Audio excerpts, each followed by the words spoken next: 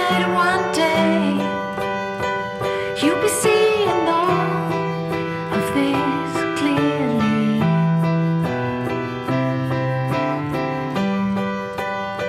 He said one day you'll be shouting from the top